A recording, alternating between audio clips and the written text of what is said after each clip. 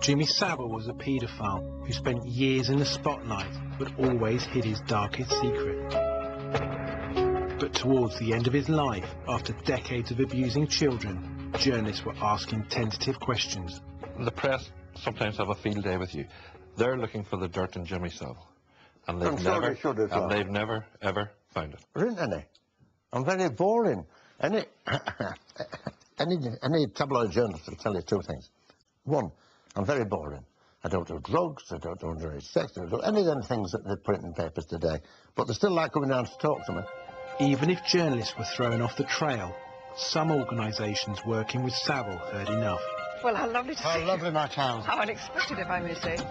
Children in Need is a landmark BBC event. Every year, tens of millions of pounds are raised for good causes, an ideal venture for fundraising impresario Savile. Gary, tell us. It's uh, the Radio 1 initiative test in aid of children in need. Yeah. Our listeners can phone in and pledge money for their favourite team. Jimmy, are you looking forward to this?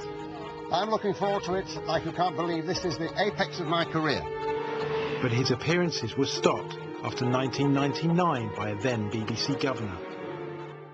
the body language of the staff when Jimmy Savile was mentioned uh, was such that I could uh, detect discomfort, and I came to the view that um, they didn't really want him uh, involved, and I didn't want him involved either. Jones's intervention is crucial because it demonstrates that some major figures, even in the BBC, were not fooled by Savile. But he never told anyone at the corporation about his decision. You were aware, or you would have been aware, that Jimmy Savile was still high profile, still involved very much in children's work. Did that not concern you? No, no, because uh, I was responsible for that which I was responsible for. I was not responsible for the rest of it. Other people, producers and such like, you know, they had that responsibility. If they uh, wanted to do something different, fine. But surely, having made a big decision that you made to not have him involved in children in need, it was for you to tell other people, let them make their own decision, but let them have that knowledge. If you haven't got proof, then they would say, I'm sorry, you know, uh, not substantiated. I would have lost. I would have been made to look ridiculous. But what I have a problem with Yeah. is the fact that you've made that decision on a gut feeling, which is entirely right, but you didn't pass that on to anybody else. You didn't even tell them, this is a decision I've made. It's entirely up to you what you do with it, but I need to tell you. Potentially, from that one conversation, you could have opened up a complete can of worms and he could have stopped from offending against children, because the likelihood is, is he continued to offend after that period of time. Well, um, hindsight is truly a wonderful thing. Um, I didn't even know if I was right or not. But you are, you now know. I, I now know. But as I said, hindsight is a wonderful thing. It gives a 2020 vision. And you know, with that, I, Knowing now what you know, that this was a dangerous predatory I'd paedophile, have made. I think. I think I would have made a, um, uh, a much uh, bigger fuss and impact uh, um, with the BBC. But as I said, that's hindsight. the corporation says it's horrified by recent events and it has apologised for its part. Two investigations have now started to ensure it never happens again. But the BBC is not the only institution who might have stopped Savile. After more than 40 years of criminal behaviour, he had left enough clues to trigger several police investigations.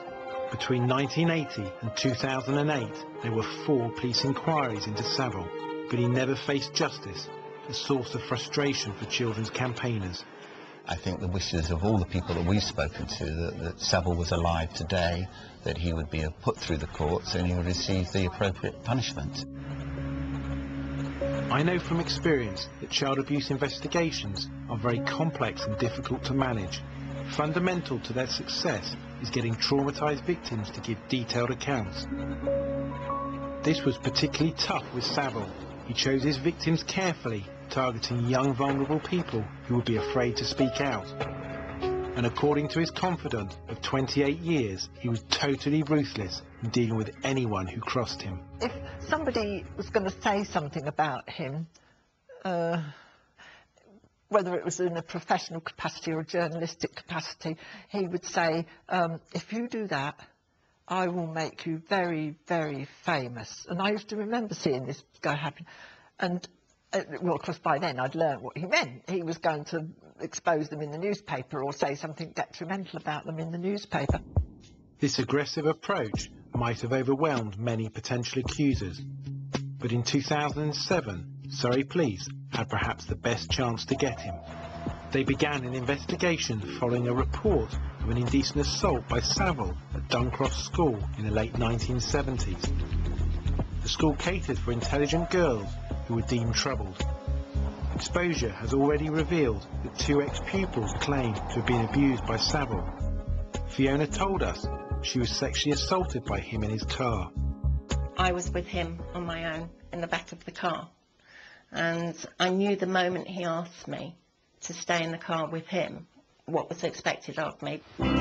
Surrey Police contacted 20 former residents of Duncroft and met with Barnardo's, who at the time of the allegation were managing the school.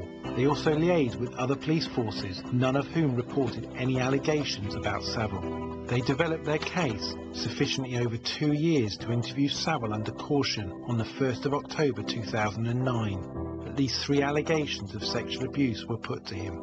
Savile denied all the offences. The police sent the file to the Crown Prosecution Service. They ruled there was insufficient evidence to charge Savile. This decision has been criticised as a missed opportunity, but child abuse investigators say Savile's high profile made him a tough target.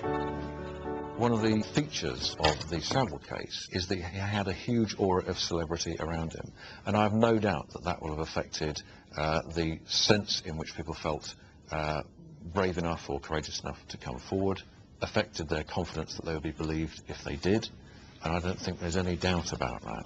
People exercise power, and um, that's that celebrity is a form of power.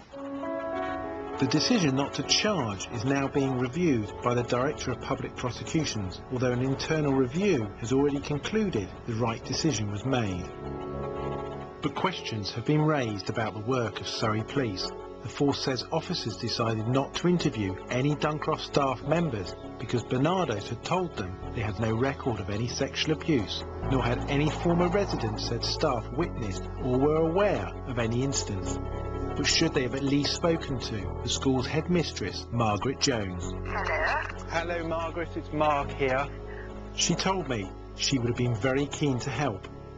You weren't spoken to by Surrey Police? Well, I've got smacked. I never have been spoken to. You've never been spoken to at all? I should have been told he was interviewed. Jones, who is now 90, says she did not witness any abuse by Savile, nor did she have any suspicions. But had they spoken to her, Surrey Police might have learned crucial details about Savile's visits. Did he take any of the girls out in his car? I'm not going to say anything. You're not going to say anything?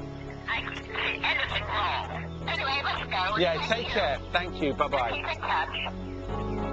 For the record, I was an officer at Surrey Police for 12 years. But the scale of Savile's offending and the failure to bring him to justice has led some figures to call this a watershed moment for child abuse. Never again must victims feel they can't come forward. And there are signs this is happening.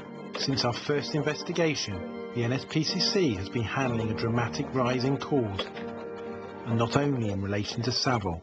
Well, since uh, your programme, we've doubled the number of referrals regarding sexual abuse coming to our helpline. So that's, you know, a 100% increase on that. That's quite significant. We've had a 60% increase on people who are seeking advice about concerns that they might have regarding children who might be a victim to sexual abuse or have historically been abused as children. Before I finish my investigation, I have one final letter from the Savile archives, which I want to return to sender. In 1996, children's campaigner Esther Rantzen wrote to Savile, thanking him for his contribution to a book for her charity Childline. Esther has done decades of work for children, and she finds the letter galling. It just makes me feel that he deceived me and fooled me the way he fooled everybody else over the years. And uh, doesn't surprise me because that's what paedophiles have to do. You know, they always say monsters don't get near children, nice men do. And it's only by making this sort of image for himself he could get near children. But I am fascinated that this is the only thing he ever did for Childline.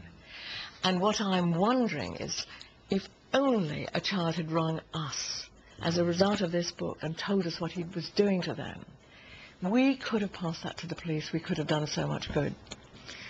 In a sense, an opportunity missed.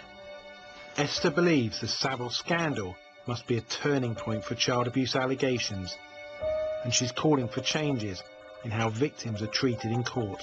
The law at the moment doesn't protect children.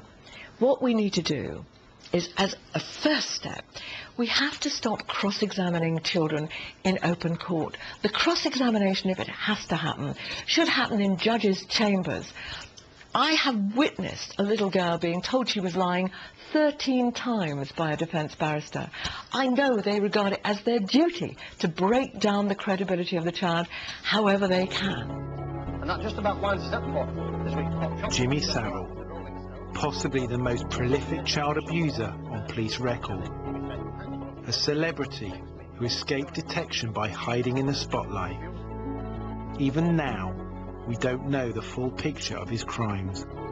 But can we be sure history won't repeat itself? That victims will be heard and believed? And ensure that abuse on the scale perpetrated by Jimmy Savile can never happen again.